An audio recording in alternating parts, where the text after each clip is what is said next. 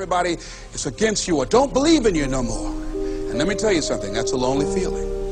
It's a lonely feeling, particularly people that you're doing it for. If you're not where you are, if you're not where you want to be, if you don't have what you want, want to have, if you're not where you think you should be at this particular place, it has nothing to do with the system, but it has everything to do with the fact that you're not making the sacrifice. If you want to make it in this game, you need to do three things. You need to work hard, you need to work smart, and you need to work consistent. But you have to have all three.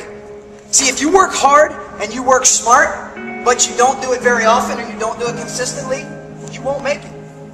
If you work really, really hard and you do it all of the time, but you don't work smart, you're not going to make it. And it goes without saying that if you don't even work hard, you don't stand a chance. Now here's the thing as far as working hard, and I don't blame you if I'm the 10 millionth person who's told you in your life you have to work hard. I guarantee your parents have told you that, guarantee coaches have told you that. Anytime they interview some celebrity on TV, what did you do to make it? You gotta work hard, you gotta work hard. What does work hard mean? See, here's the problem. It's a relative term. Each of us defines it differently. What you consider working hard might make him laugh. What he considers working hard, Kobe Bryant might laugh at. Here's how I'm going to define working hard. You take yourself to the point of discomfort. That can be physical, that can be mental, that can be emotional. But you take yourself out of your comfort zone. If you guys want to make it, you have to learn how to be comfortable being uncomfortable. And if you want to be great, if you want to be like a Kevin Durant type player, hard a habit. Every time you enter the gym to work out or to practice or to play a game, you have a choice to make. You have the choice to work hard or you have the choice to not work hard. And most of you don't grasp that not working hard is a conscious choice.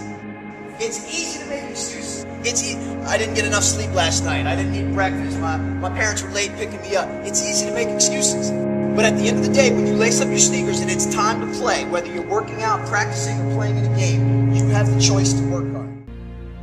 You have this opportunity of a lifetime. It means absolutely nothing if you don't take advantage of it in the lifetime of this opportunity. I got a saying that when life knocks you down, try and land on your back because if you can look up, you can get up. If you want a thing bad enough to go out and fight for it, to work day and night for it, to give up your time, your peace, and your sleep for it, if all that you dream and scheme is about it, and life seems useless and worthless without it. See, it's time now. If you want to make this your decade, you've got to start saying yes to your life.